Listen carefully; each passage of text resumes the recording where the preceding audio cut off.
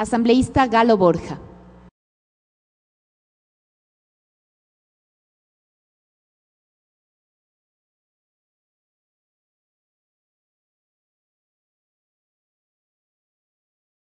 Buenos días, señora presidenta.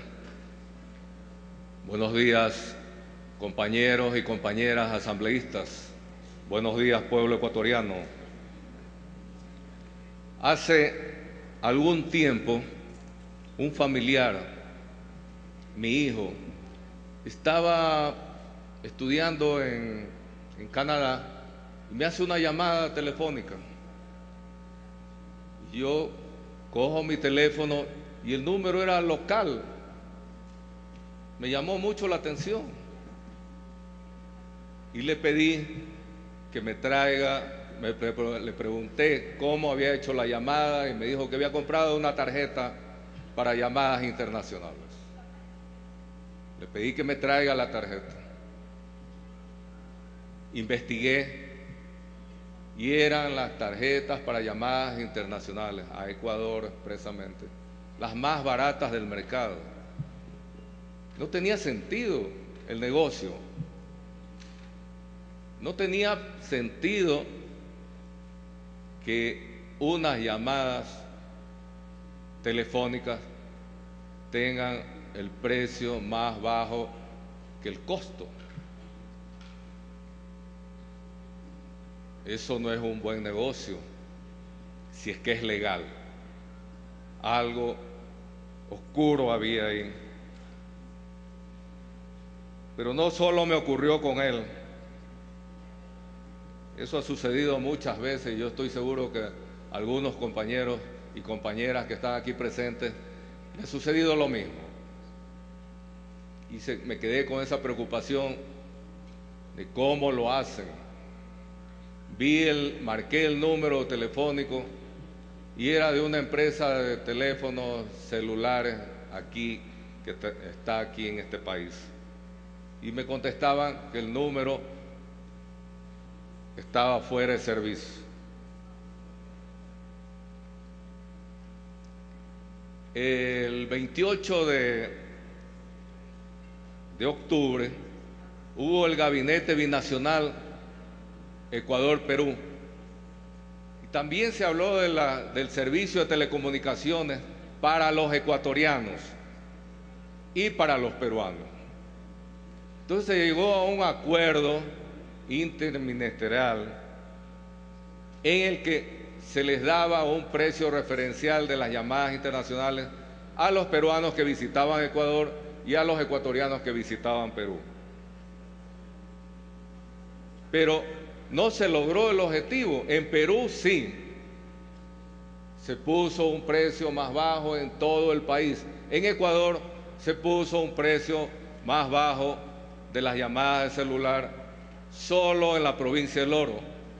¿Por qué no se logró el objetivo si eran las mismas empresas públicas, las mismas empresas privadas de telecomunicaciones, de celulares, y no se pudo llegar a un acuerdo. Con todas estas preocupaciones, he estado haciendo una investigación y en base a esa la propuesta que hago para que la para que la Agencia de Regulación y Control de Telecomunicaciones pueda intervenir y dar un mejor servicio a todos los ciudadanos ecuatorianos, creando algo que se está haciendo en otros países para el control y el servicio y la regulación de llamadas telefónicas de entrada y salida internacionales. Yo he preparado unas láminas para hacer un poquito más didáctico. A esto le llaman carrier, de carrier internacionalmente. Es un operador que recibe y envía tráfico internacional y a su vez está conectado con los operadores locales e internacionales. Es una especie de interfaz que también hace las funciones de broker de tráfico. Actualmente en Chile y Centroamérica está funcionando perfectamente, está dando un excelente servicio y está ah, respetando la dignidad de los ciudadanos, haciendo respetar la dignidad de los ciudadanos, teniendo un buen servicio de telecomunicación. Este puede ser público o privado. En los países de la, región es privado, pero puede ser concesionado. Eso depende de cómo lo establezca la agencia de regulación o el gobierno.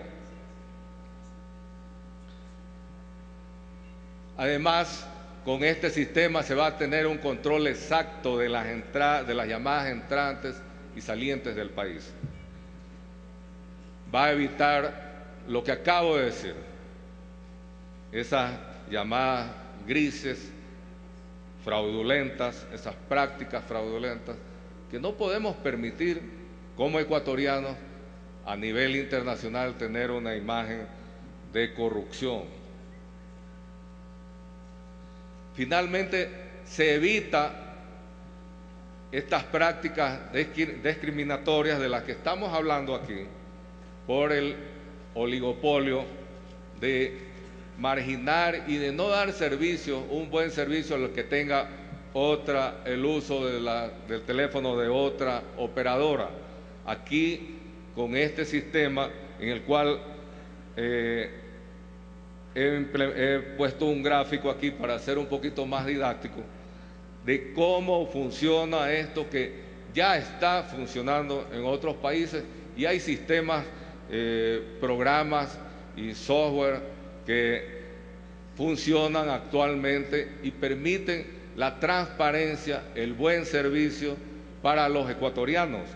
Eh, el carrier de carrier recibe todas las llamadas y las eh, desvía a, donde va eh, destinada la llamada y se lleva un control absoluto de todas las llamadas. Repito, no puede repetirse las llamadas baratas perjudicando al país y las faltas de cooperaciones en los acuerdos que en esta época de globalización en la que estamos hablando de unidad latinoamericana, en la que estamos hablando de la Unión Europea y de todas las, aperturas de fronteras, que sigamos divididos internamente por las multinacionales, por las empresas privadas de telecomunicaciones y no podamos unirnos a nivel de, de Latinoamérica.